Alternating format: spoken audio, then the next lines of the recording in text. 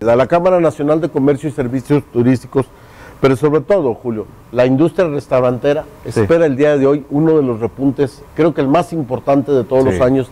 Así nos lo dio a conocer Carlos Rodríguez, quien es el presidente de la Canirac. Humberto, buenas tardes. Este, bueno, 10 de mayo es un día muy especial, se festeja a la reina del hogar y como tal, este, siempre ha sido un día que salen a festejar a las mamás. Entonces es un día muy importante para nosotros, o sea, sí se, esperamos a la gente con la visita de las mamás. Es un día para ustedes garantizable.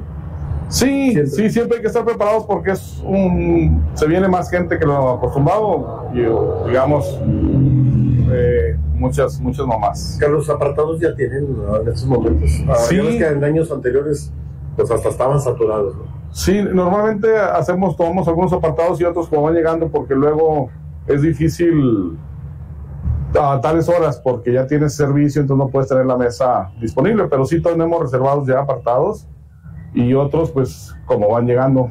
Para los restauranteros podrían ser un día de a ver si se repunta algo esto, porque está complicado, ¿no? No, ese es un día que sí se repunta la venta, pero eh, afortunadamente es un muy buen día. Esperamos que todo el mes esté igual porque venimos de esta, pasó la cuaresma y la cuaresma sí estuvo muy tranquila, entonces esperamos que este mes de mayo sí repunten las, ventas, las ventas no solo el 10, sino todo el mes. ¿Ya se dan visos en estos primeros días de mayo de algo, de algún repunte? Eh, sí, sí, porque abril cerró muy tranquilo después de cuaresma y mayo pues apenas ahí vamos, sí, sí va un poco mejor.